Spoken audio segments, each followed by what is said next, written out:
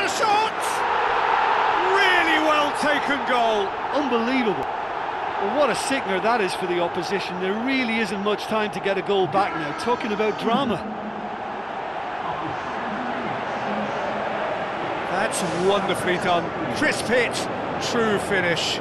Look, volleys can be worked on and improvements can be made, but in the moment it takes timing and balance to catch the perfect spot on the ball to produce brilliance like that.